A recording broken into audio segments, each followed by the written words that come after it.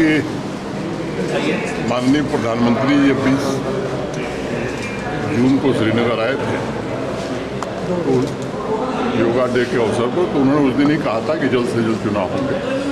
अभी election commission की पूरी टीम यहाँ आई थी। पॉलिटिकल पार्टी से, एडमिनिस्ट्रेटिव लोगों से, सभी स्टेक होल्डर्स कंसिडरेशन करके वापस गए। चुनाव की तिथि क्या होगी? मुझे लगता है कि ये चुनाव अधिकार, चुनाव आयोग का विशेषाधिकार है। और जैसा पाँच अगस्त 2019 को देश के गृह मंत्री जी ने संसद में कहा था delimitation first then assembly election then statehood at appropriate time उसी सीक्वेंस में चीज़ें चल रही हैं।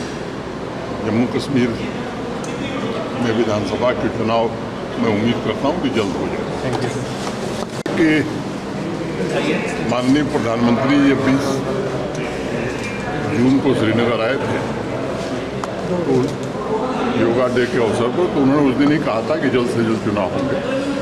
अभी इलेक्शन कमीशन की पूरी टीम यहाँ आई थी।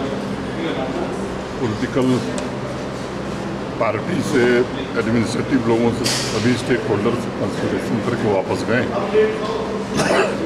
चुनाव की तिथि क्या होगी? मुझे लगता है कि ये चुनाव अधिकार, चुनाव आयोग का विशेषाधिकार है।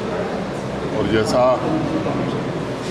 पाँच अगस्त 2019 को देश के गृह मंत्री जी ने संसद में कहा था delimitation first then assembly election then statehood at appropriate time उसी सीक्वेंस में चीज़ें चल रही हैं। जम्मू कश्मीर में विधानसभा के चुनाव मैं उम्मीद करता हूँ कि जल्द हो जाए कि माननीय प्रधानमंत्री ये बीस जून को श्रीनगर आए थे तो योगा डे के अवसर पर तो उन्होंने उस दिन ही कहा था कि जल्द से जल्द चुनाव होंगे।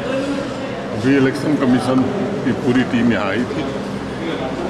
पॉलिटिकल पार्टी से एडमिनिस्ट्रेटिव लोगों से सभी स्टेक होल्डर्स कंसिडरेशन करके वापस गए।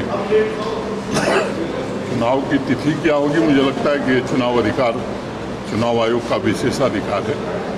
और जैसा पाँच अगस्त 2019 को देश के गृह मंत्री जी ने संसद में कहा था delimitation first then assembly election then statehood at appropriate time उसी सीक्वेंस में चीज़ें चल रही हैं।